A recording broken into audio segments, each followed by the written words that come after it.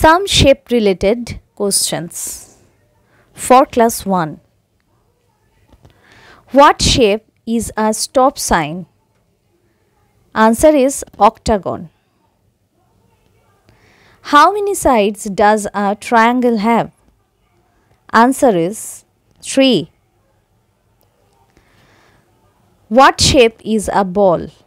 The answer is sphere or circle. What shape is a coin? The answer is circle. What shape has four sides and four corners? The answer is square or rectangle. What shape is a book?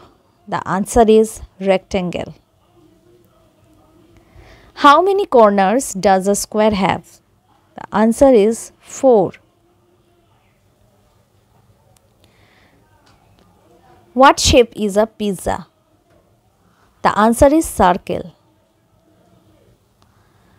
What shape has three sides and three corners? The answer is triangle. How many sides does a rectangle have? 4. How many sides does a hexagon have? 6 sides. What shape is a window?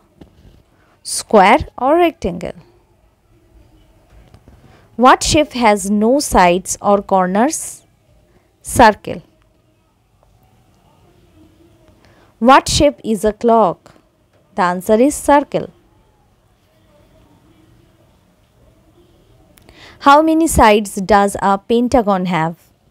The answer is 5.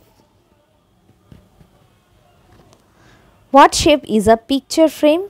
The answer is rectangle.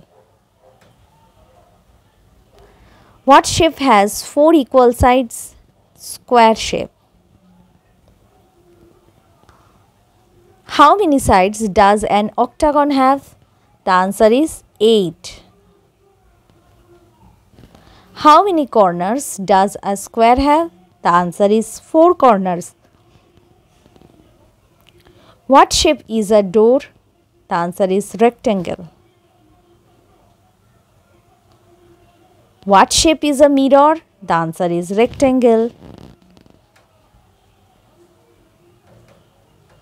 What shape is a plate? The answer is circle.